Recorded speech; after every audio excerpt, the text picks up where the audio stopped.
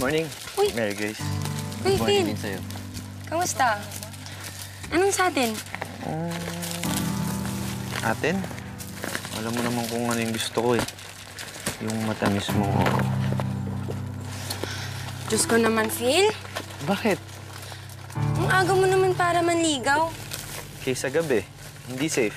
Tsaka may duty ako nun eh, kaya ngayon na lang. Phil, wala na akong time sa ganyan. Hindi nga ako maghintay. Naman. Sobrang busy kong tao. Hindi nga ako maghintay. Eh, bakit ba ako lagi pinupuntahan mo? Baka mamaya, magalit pa jowa mo. Jowa? Wala akong jowa. Baka yung tinutukoy mo yung nagatid sa akin. Hindi ko jowa yun.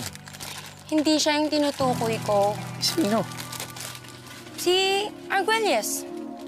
Si Benji. Ikaw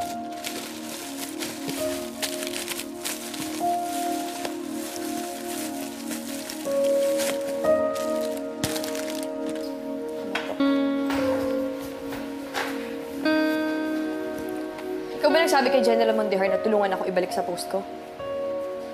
Nalapit ko lang sa kanya yung kaso mo. Sabi niya, titignan niya kung ano magagawa niya para makatulong. Akala ko tinawagan ka na niya. May problema pa ba? Jetro, ayoko ng tulong. Ayokong gumamit ng koneksyon para lang hindi ako ma-reassign.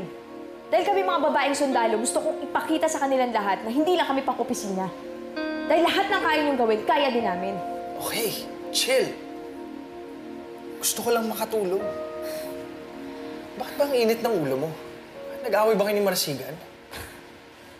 Talaga? Ha, Jetro? Talaga? Hindi lahat ng tungkol sa akin may kinalaman si Marasigan. Lord, nagbibiro lang ako.